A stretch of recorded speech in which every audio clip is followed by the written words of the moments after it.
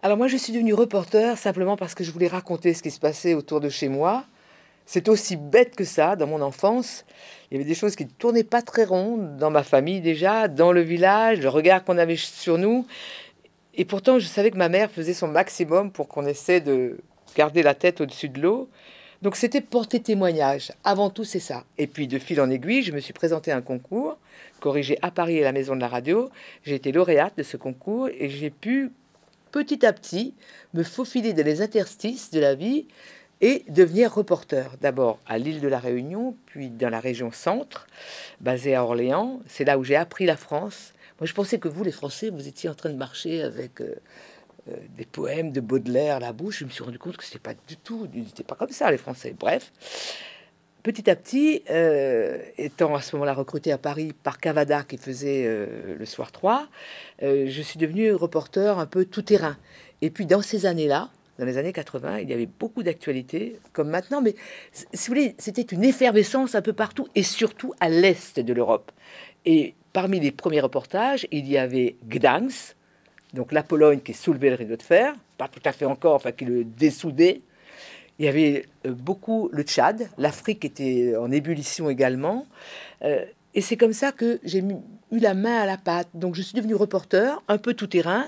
Il y a eu beaucoup de guerres, donc je me suis beaucoup occupée de conflits qui émergeaient un peu partout. Euh, et au fil du temps, aujourd'hui, à l'Institut national de l'audiovisuel, pour France 3, dont j'ai été reporter jusqu'en 2013 à ma nomination au Conseil supérieur de l'audiovisuel, il y a près de 5000 références sous mon nom, ce qui fait de moi probablement un des plus vieux journalistes en activité. J'ai ma carte de presse, ma carte de presse professionnelle bleu, blanc, rouge et je suis aujourd'hui chroniqueuse pour le Midi Libre et la Dépêche du Midi, donc j'ai beaucoup de chance.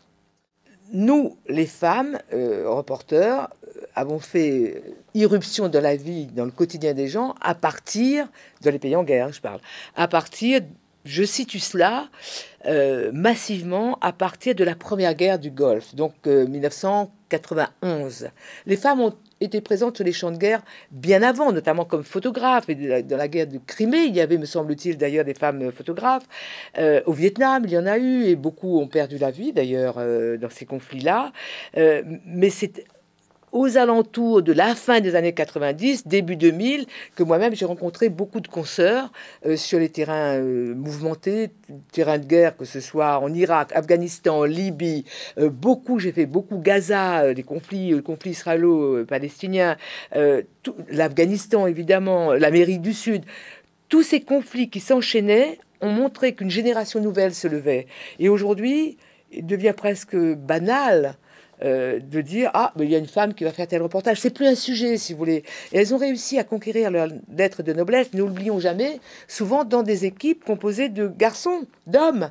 Au contraire il manquait des femmes à la technique mais les hommes en tant que techniciens ou en tant que reporters d'image étaient beaucoup plus nombreux que les femmes.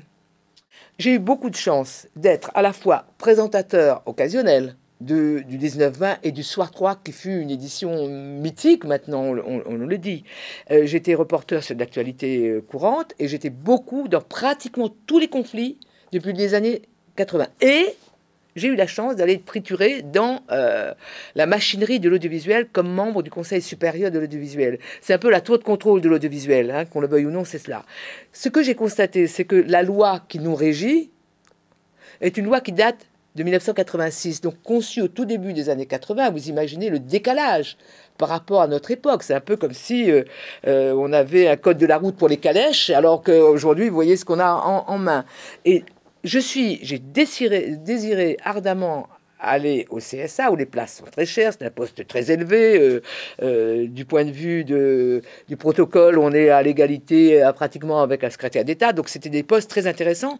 Mais je suis allé un peu comme quelqu'un qui voulait comprendre comment on pourrait changer le dispositif. Car j'avais bien vu en tant que reporter que des gens qui ne connaissaient pas grand-chose à mon métier voulaient qu'on supprime une image, euh, qu'on la floute, euh, qu'on n'ait pas le droit d'aller ici ou là. Et j'ai compris combien la loi était fondamentale. Parce qu'on peut se dire, bon, la loi, tant pis, hein, et puis on fait notre vie. Non. Quand il y a un conflit avec une chaîne de télévision, par exemple, parce que des émissions ne respectent pas euh, la dignité de la personne, par exemple. Eh bien, si le régulateur de l'audiovisuel, aujourd'hui l'ARCOM, hier le CSA, Conseil supérieur de l'audiovisuel, si ce régulateur impose une sanction, aussitôt la chaîne de télévision ou de radio ira faire un procès devant le Conseil d'État avec les meilleurs avocats que l'on puisse connaître, et le régulateur va perdre son procès. Ce qui s'est produit, notamment en 2015, euh, avec la chaîne 23, euh, qui était une chaîne qui vous appartient, une chaîne du domaine public. C'est une fréquence qui a été donnée à un entrepreneur, un homme d'affaires. Et puis, au bout de quelques années, il l'a revendue pour énormément de millions. Oui, là-dessus, j'ai même pas le droit de dire pour combien de millions. On le sait maintenant, c'est domaine public, c'est plus de 80 millions. Bref, le gars a mis 12 000 euros, il a récupéré 80 millions. Ça, ça vous appartient. Ça nous appartient. Est-ce que c'est logique de faire ça? Est-ce qu'une fréquence qui vaut de l'or peut être confiée à quelqu'un qui a beaucoup d'entre-gens et puis il en fait ce qu'il veut? C'est un exemple, mais il y a beaucoup d'autres exemples. Ce sont des sujets qui nous concernent parce qu'il y va, en va de la liberté et du pluralisme. Un pays comme la France ne peut pas laisser les choses aller en se disant bon, bah, après tout, hein, c'est du business, c'est de la télé. Non, la télé, elle influe sur notre manière de vivre ensemble. Elle concerne les rouages de la démocratie. C'est aussi bête que ça. Donc il faut une loi. J'ai eu la chance de discuter à bâton rompu quatre fois, quatre fois avec le président de la République lorsque j'étais au, au CSA et puis après. Lui-même, il a bien vu que le système ne fonctionnait pas normalement, puisque avec la chaîne de télévision RT, Russia Today, la, la chaîne de Poutine, il en a fait les frais. Il est conscient, le président de la République, qu'il faut absolument changer la régulation de l'audiovisuel. Je le dis, je le souligne, je l'atteste, la régulation de l'audiovisuel, selon moi, d'après ce que j'ai vu, de l'intérieur de la machine, aussi crucial que par exemple la régulation de l'énergie. Il faut simplement trouver du temps parce que la lourdeur des process d'élaboration d'une loi fait qu'il faut du temps pour que ça soit discuté. J'espère que le président de la République aura l'occasion de mettre les choses à plat avant la fin de son second mandat. C'est très important. Alors, je regarde beaucoup les reportages, notamment de mes collègues, de mes confrères, consoeurs. Euh, une des tentations vu qu'il y a les chaînes d'infos, les chaînes permanentes, c'est de transformer la guerre en spectacle. Non plus de désosser, je souligne, hein, désosser les euh, mécanismes de géopolitique, mais de montrer essentiellement des moments où il y a de la misère humaine. Il faut montrer la misère humaine, parce qu'elle incarne l'ignominie du moment et de la guerre qui est la chose la plus redoutable qu'on puisse imaginer. Et vous voyez, je vous en parle et je vous assure, je vous le jure, j'ai des frissons en y pensant parce que le mot guerre va très vite. Mais la réalité, matin, midi et soir, c'est effrayant. Le risque, c'est de transformer la guerre en spectacle et de ne plus regarder euh, littéralement les, ressorts euh, géostratégiques les véritables implications, quel danger pour nos sociétés. Parce que à force de regarder les émotions, on finit par euh, s'immerger dans l'émotion. Or, il faudrait avoir la tête froide par exemple, question démocratique, comment se fait-il que notre Assemblée nationale ne soit pas associée à la discussion des moyens débloqués, attribués par la France à disposition de l'Ukraine? Il faut, il faut être solidaire de l'Ukraine, il n'y a aucun doute là-dessus. Mais un pays comme la France, qui a un Parlement élu quand même au suffrage universel malgré toutes les limites qu'on peut y trouver, puisque le suffrage universel n'a pas été euh, suffisamment utilisé, il y, a, il y, a, une grande désaffection. Mais l'Assemblée nationale est tenue à l'écart de la dotation en matériel et maintenant les avions de combat ne sont même plus exclus de la liste. Bien sûr, il y a la Constitution de 1958 et le fameux domaine réservé.